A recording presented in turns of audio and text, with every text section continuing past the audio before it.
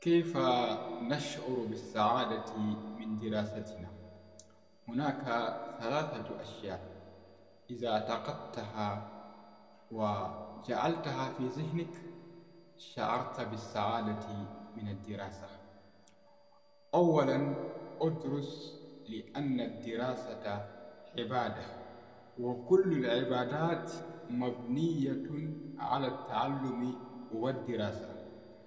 فعندما تدرس عندما تفتح كراسة عندما تفتح كتابا عندما تحفظ نصا اعتقد بأنك في عبادة رب السماوات والأرض. بهذا لن تخسر ولن تندم سواء وظفت بعد الدراسة أو لم توظف فإنك رابح. فالدراسة بحد ذاتها عبادة ونجاح. وسعادة ثانيا ادرس لتنفع الناس وتسعد الناس. فأسعد الناس من أسعد الناس.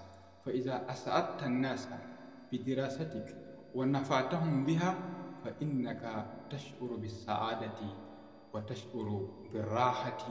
ودراستك وعلمك يزداد كلما نشرتها وكلما خدمت بها الآخرين.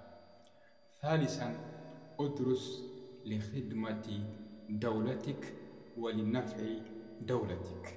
فنحن نعيش في الدول وهذه الدول تقدمها وتطورها مبني على ماذا؟